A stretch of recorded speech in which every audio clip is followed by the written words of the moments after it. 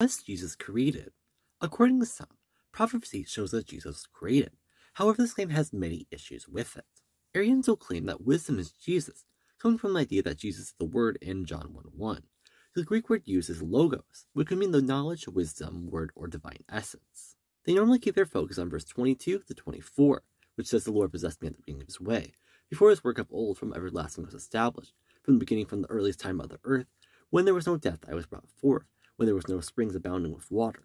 What is going on here is merely an etymological fallacy, as Dr. Falk notes. The problem is going to be that it's an etymological fallacy. Just because Chechama means wisdom logos itself, even though wisdom is one of its meanings, it doesn't encapsulate the entirety of its meaning. Another issue is seen in the very first verse of Proverbs 8. Does not wisdom call and understanding lift up her voice? Is Jesus a woman? Well, certainly not. He is a son. But yet the passage says her voice. In verse 2, she takes her stand. Jesus is not a woman, so this cannot be referring to Jesus. Rather, this is merely a personification of wisdom, as the pulpit commentary notes. Wisdom is personified, though we are not so plainly confronted by an individual, as in the preceding case of the harlot.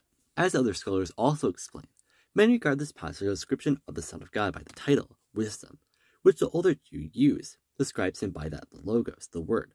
But the passage may be taken as personification of wisdom. Described as with God, wisdom is asserted to be God. The use of personal attributes is equally consistent with personification, as with the description of a real person. Personal pronouns use accord with the gender feminine of wisdom, constantly are never changed to that of the person meant, as something occurs in a corresponding use of spirit, which is neuter in Greek, but to which masculine pronouns are often applied. Such a personification is agreeable to the style of this book.